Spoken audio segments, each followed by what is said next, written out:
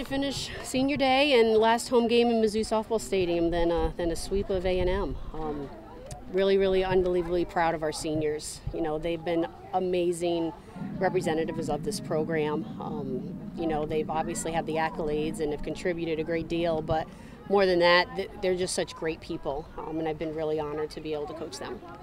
What's the emotion like when you see those faces walking down? They're coming it's, at you for the hug. It's What's really tough. I mean, it's tough. I mean, I didn't recruit them other than Wirt, but they're they're my girls. Um, I've been with them for four years. Um, they've gone through a lot of adversity, and they're so proud and completely loyal and dedicated to Mizzou. And I would do absolutely anything for them if you could specify what, what the mark of this senior class is. They all had a hard time putting into words, but what, what do you think the mark of the senior class I mean, they've set they set a new bar. They absolutely have set a bar, and they've been great mentors to the younger players. But I think it's, I mean, you can see the, the way the fans stayed to watch the presentation and how they feel about all of these seniors, and they've left an impact on everybody who's been in touch with this program.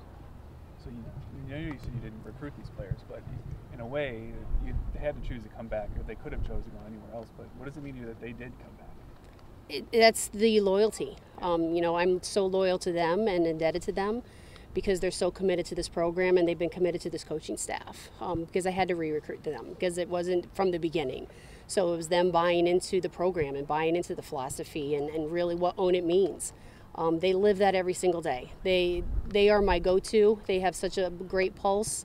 They know the standards of, of us as coaches and standards of the program, and they uphold them all the time. And the way that they mentor the younger players and hold them accountable really will that will be passed on from years and years. So the impact that the seniors have impact our freshmen. So when our freshmen are seniors, it's going to impact those freshmen. So that's the legacy that they've left. When you look at a girl like Alexis Burks, what a moment for her today. You know, what was that like, and kind of watching that go down? That literally was the highlight of the day. I mean, you you want it so bad for those role players, and she's been such a contributing member. And you know, people don't don't recognize players like that enough. You know, they look at the stats and they look at the batting averages and the shutouts, but Alexis Burks is in the bullpen every single day and catches the pitchers without without being asked and for her to get an at bat and to get, and to have a such a quality at bat, I mean, you can see. I mean, how many people off the bench get a standing ovation like she did today? How, how would you describe what Kim Wirt, I guess, means to you in this program? Uh, you know, it's it's one of those. It's it's a little bit different because again, I recruited her out of high school, and so many people told me she couldn't play at this level, and I knew deep down she could. And so I wanted it so much more for her to prove all the people who were saying no that she can.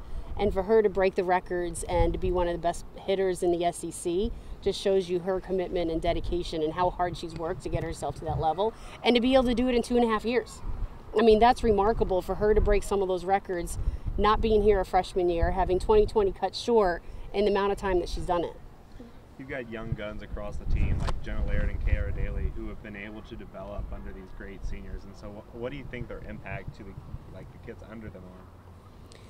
It's, it's the same with the, the legacy. Like they're going to talk, tell stories about the senior class long through their career, and they're going to remember exactly the mentoring. So then Jenna and Kara Daly and Alex Honnold can mentor our younger players, and that's that's what true mentoring and, and what a lead, leaving a legacy really means. It's that you continue to pass it on, and tradition never graduates.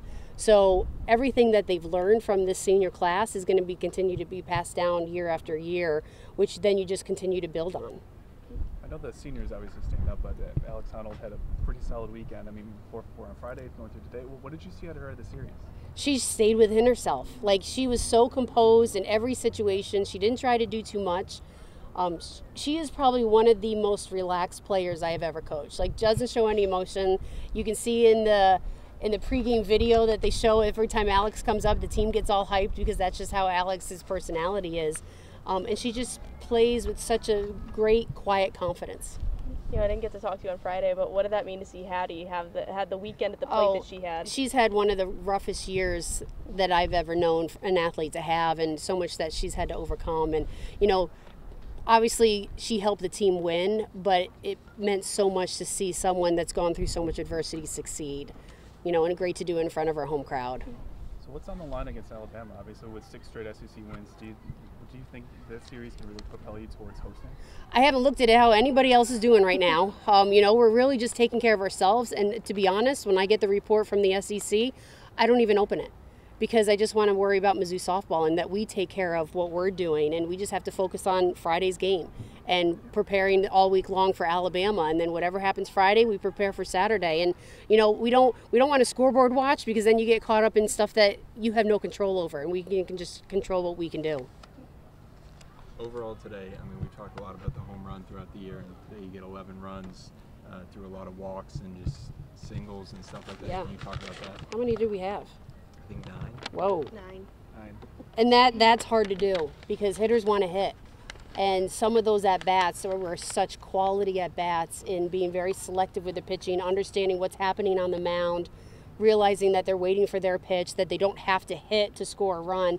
I mean that that takes a lot of discipline, especially on a senior day where people sometimes try, try to do too much and try to do more because of what the day means and they just stay so composed and, and you know getting that many walks or quality at bats and then being able to capitalize when you have those runners in scoring position is huge. What did you think about the pitching today? i thought they looked fatigued. You know that's what i just said them in the dugout. I thought their, their legs looked tired. Um, jordan i thought looked phenomenal in the bullpen. So I'll, I'll have to talk to her a little bit on what she felt out there and i thought a&m made great adjustments. I thought they had a great game plan going in um, so i'll give them a lot of credit but i just thought our legs look a little sluggish and weren't as sharp. So we'll have to do a little bit more recovery and, and get them their bodies a little bit more um, ready to play on friday